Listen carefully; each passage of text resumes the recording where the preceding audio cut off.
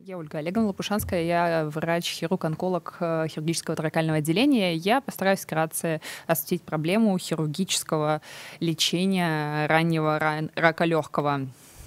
Почему это так важно? Почему вообще мы сегодня собрались? Почему мы так часто обсуждаем этот вопрос? Потому что, во-первых, рак легкого — это ведущая причина смерти в структуре всех онкологических заболеваний, и в то же самое время все наши мероприятия, направленные на борьбу с этим заболеванием, могут показать очень хорошие результаты. Например, радикальное хирургическое лечение ведет практически э, к трем четвертям пятилетней выживаемости среди всей структуры пациентов.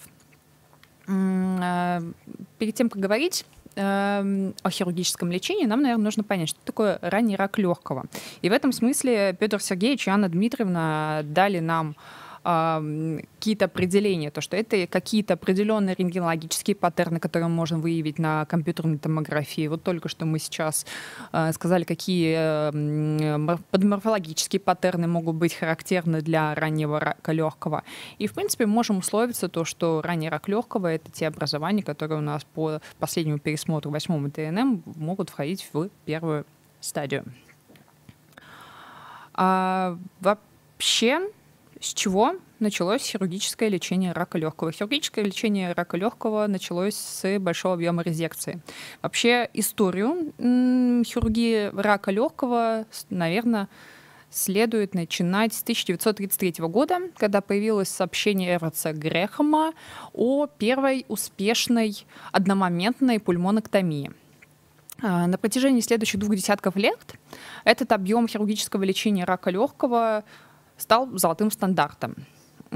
Разумеется, с течением времени возник вопрос, возможно ли такое же, возможно ли успешное лечение, хирургическое лечение рака легкого с меньшей резекцией, с резекцией меньшего объема э, легочной паренхимы. И впоследствии Кахан в своей статье 1960 года предложил в качестве такого стандарта э, радикальную лобоктомию. В качестве лобоктомии он определял процедуру, в которой удаляются отдельные доли легкого систематической внутригрудной лимфодиссекцией. И, надо сказать, на протяжении следующего полувека, и, наверное, даже до сих пор, это однозначно э, золотой, золотой стандарт радикального лечения э, начальных форм рака легкого. А надо сказать, что параллельно э, этим сообщениям были э, исследования, были материалы. Которые пытались привнести, э, в которых обсуждалась возможность сегментоктомии, то есть возможность включения сегментоктомии как сублобарной резекции легкого, как одним из методов лечения именно непосредственно злокачественных образований легкого. Э, в то время как, э, как как правило, сегментоктомия в то время использовалась для хирургического лечения доброкачественных образований легкого. В то время были опубликованы некоторые ретроспективные небольшие исследования, в которых сообщалось, что при сублобарных резекциях, при первой стадии немелкоклеточного рака легкого, э, сегментоктомия она позволяет сохранить функцию легкого без возможного ущерба э, для выживаемости по сравнению с лобоктомией. И меньшая резекция легочной паренхимы, она более выгодна с точки зрения послеоперационной функции легких. Но подобные ретроспективные исследования были единичные. И, соответственно, в течение следующих следующего полувека для в различных исследованиях с точки зрения хирургического лечения рассматривались всегда следующие хирургические маневры. Это лобоктомия, удаление доли легкого, либо же суплобарные резекции, такие как сегментоктомия, либо клиновидная резекция. И чтобы э, все-таки изучить целесообразность э, резекции меньшего объема паренхимы легкого, было инициировано исследование североамериканской исследовательской группой по изучению рака. Э, это первое и на данный момент единственное завершенное и подытоженное рандомизированное, э, клиническое рандомизированное исследование, в котором э, изучали, э, которым сравнивали полноценную радикальную лобоктомию с ограниченной резекцией. Мы здесь подразумеваем сублобарную резекцию. А, результаты данного исследования были а, опубликованы в аналогах торакальной онкологии в 1995 году. А, данное исследование включало в себя тысяча... Э, Данное исследование проводилось с 1982 по 1988 год в данном исследовании основной вопрос был в разнице общей выживаемости. Это была первичная конечная точка.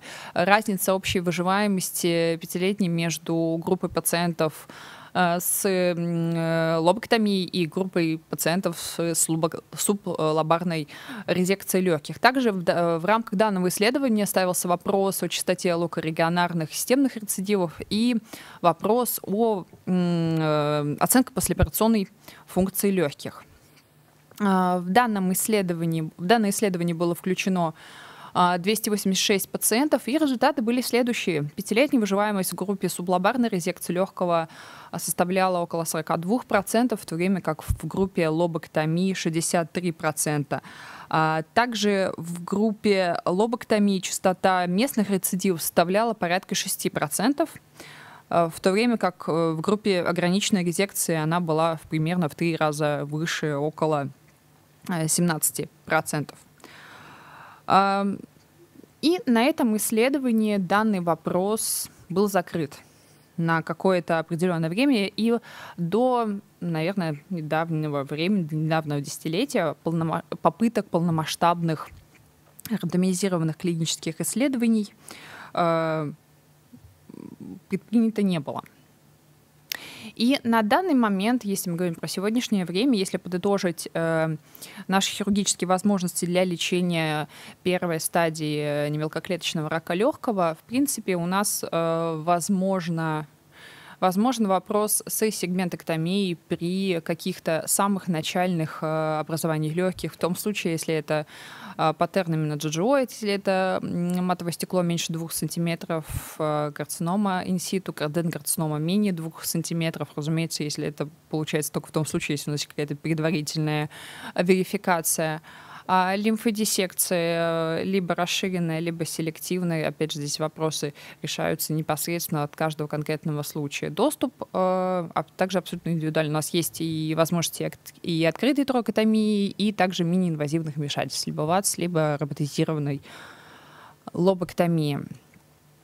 Э, да, на какой-то... У нас сейчас есть стандарт э, э, хирургического лечения начальных форм рака легкого. Однако же вопрос о возможном уменьшении э, резекции паренхима легкого все равно сейчас поднимается. В данный момент э, ведется несколько рандомизированных клинических исследований, не в стадии э, в активной, в активной стадии, пока предварительных результатов не было опубликовано. Например, одно из самых крупных исследований, в которое включено 701 пациент, проводится сейчас э, в Штатах. Э, там э, сравнивают ограниченную резекцию легких, в которую включают и клиновидную резекцию легких, в данных случаях сравнивают вместе с радикальной лобоктомией. Планируется, что какие-то предварительные результаты Э, данного исследования могут быть в течение следующих нескольких лет.